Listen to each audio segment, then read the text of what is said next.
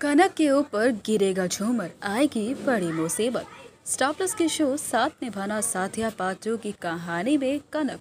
फिर एक बार अब उचाल चलती हुई राधिका के साथ देसाई परिवार के घर में वापस लौट आई है।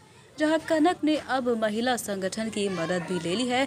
ये कहकर के देसाई परिवार ने उसके ऊपर अत्याचार किए और उसे घर से भी निकाल दिया है, जिसके साथ ही अब कनक राधिका के साथ मिलकर देसाई परिवार को पूरी तरीके से बर्बाद ही कर देना चाहती है। तो वहीं बता दें कि अब जल्द ही बेचारी कनक के ऊपर ही मुसीबत आती हुई नज़र आने वाली है, क्योंकि जल्द ही अब घर के झूमर के नीचे कनक खड़ी होती हुई नज़र आने वाली है और अब झूमर सीधा आकर कनक के ऊपर गिरता हुआ नज़र आने वाला है, जहाँ सारा देसाई परिवार बहुत ही बुरी तरीके से शॉक्ड हो जाएगा कि अब कनक कैसे बचेगी। तो वहीं कनक की जान अब बिल्कुल हलक में फंसती हुई नज़र आने वाली है, क्योंकि इतना बड़ा झूमर अगर कनक के सर के ऊपर गिरा तो कनक की जान ही जा सकती है, जिसके साथ राधिका भी दिन ब दिन और भी ज़्यादा चाले चलती हुई नज़र आ रही है। और अब राधिका देसाई को बर्बाद करने के लिए अब चाहे उसे कनक को भी रास्ते से क्यों ना हटाना पड़े, वो कुछ भी करेगी। तो क्या होने वाला अब शो की आगे की कहानी में क्या बच पाएगी कनक की जान?